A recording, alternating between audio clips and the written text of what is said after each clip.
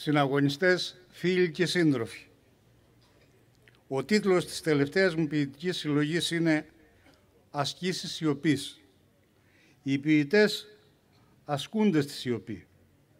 Όταν όμως κρίνουν ότι επιβάλλεται να μιλήσουν, ο λόγος τους είναι εκοφαντικός και κρυστάλλινος.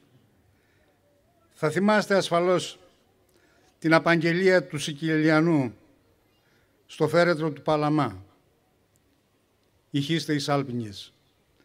Την απαγγελία του για την εθνική αντίσταση. Δεν είναι τούτο το πάλεμα σε μαρμαρένιο αλόνι.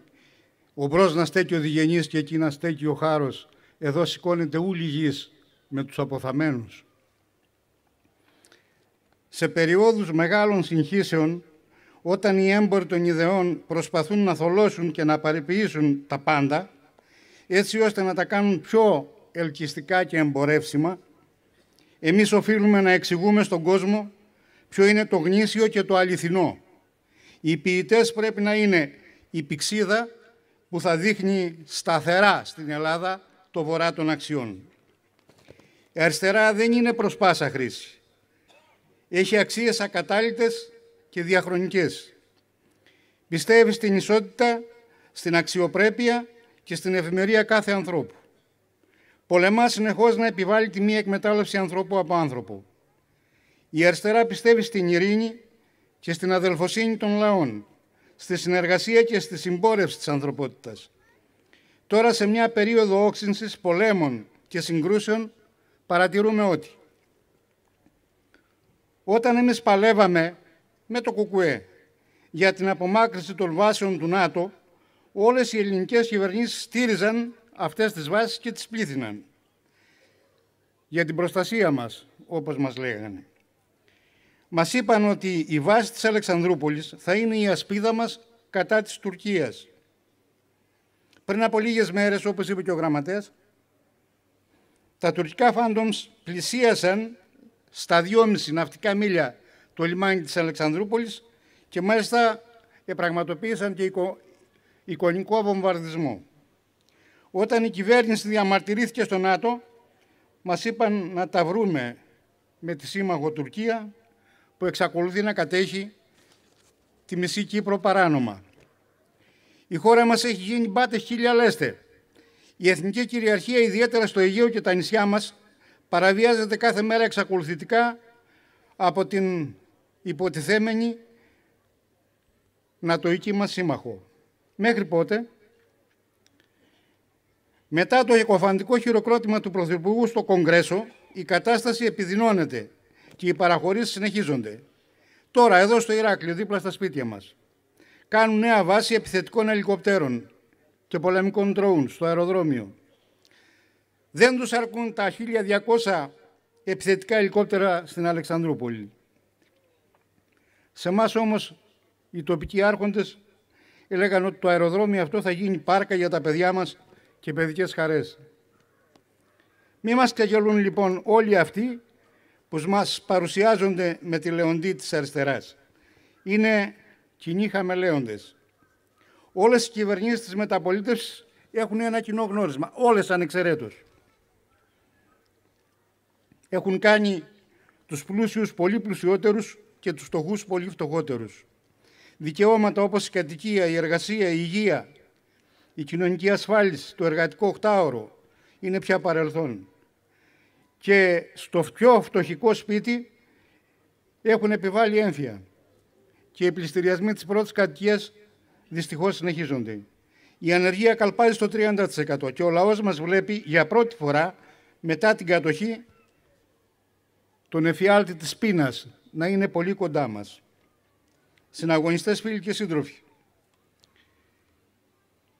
να μην σταυρώσουμε τα χέρια.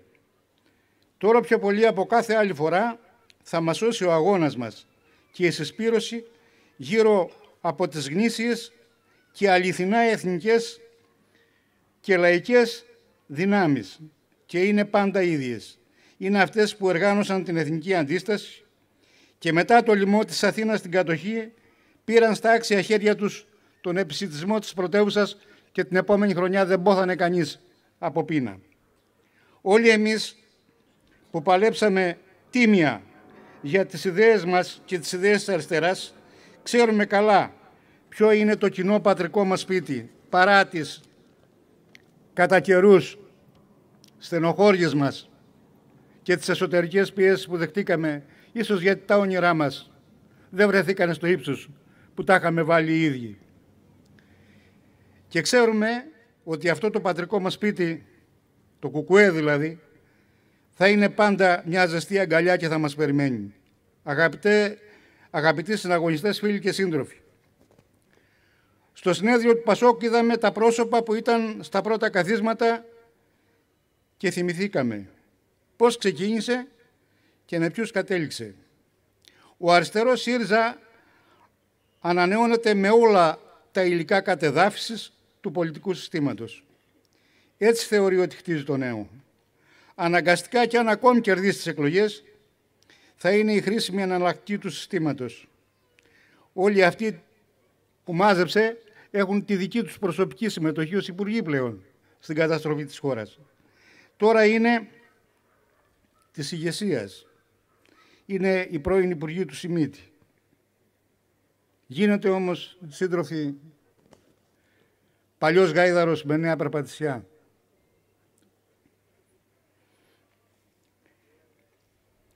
Χρέος όλων μας είναι να δυναμώσουμε όσο γίνεται πιο πολύ το Κομμουνιστικό Κόμμα Ελλάδας. Είναι η μοναδική πολιτική δύναμη που θα στηρίξει το λαό μας στους χαλεπούς καιρούς που έρχονται. Έχει την πείρα, τη δύναμη και την ιστορία. Πολλά χρόνια, δεκαετίες, ήμουνα στέλεχος του κόμματος και αυτό το βήμα είναι δικό μου βήμα, είναι γνώριμο βήμα. Είναι η ψυχή μου αυτό το βήμα. Μετά, με την εσωστρέφεια, μόνο μια φορά ξέσπασα το 12, το 2012 το Μάη και έβαλα υποψηφιότητα με την Ανταρσία και το μετάνιωσα. Δεν είναι κουκουέ. Δεν υπάρχει άλλο κουκουέ. Καταλήγοντας θέλω να σας πω από μέσα μου ό,τι έγινα και είμαι το οφείλω σε αυτό εδώ το κόμμα. Με μεγάλωσαν και με σπούδασαν δύο τίμοι αγρότες του Δημοτικού δουλεύοντας τη γη. Μου έδωσαν αρχές και με σπούδασαν σε δύο πανεπιστήμια. Τη συγκρότηση όμως και τις μεγάλες αξίες και τις επιλογές μου τις δίδαξαν οι σύντροφοί μου στο Κουκουέ. Σύντροφοι με ζωή και ιστορία, σαν τον Δανίλο, σαν τον Βασιλάκη και πολλούς άλλους. Με έμαθαν να μάχομαι και να μην υποχωρώ μέχρι τέλους, όποιος κι αν είναι απέναντι. Με αυτό το ήθος στάθηκα απέναντι στο μηχανισμό της διαφθοράς, ανυποχώρητος. Εγώ με τα παιδιά μου μείναμε μισό αιώνα στο Νίκη και είχα την ευθύνη των υπηρεσιών της Κρήτης και της Δωδεκανήσου. Ο βαθμός μου ήταν μετά τον Υπουργό. Και ο τελευταίος πάλι έκτιζε ξενοδοχεία και χτίζει. Και πολυκατοικίες και πράγματα. Εμείς όμως είχαμε το ήθος του Κουκουέ. Γιατί μας έμαθε ότι άλλα είναι τα ιδανικά. Άλλες είναι αξίες και για άλλα πρέπει να παλεύουμε. Ευχαριστώ.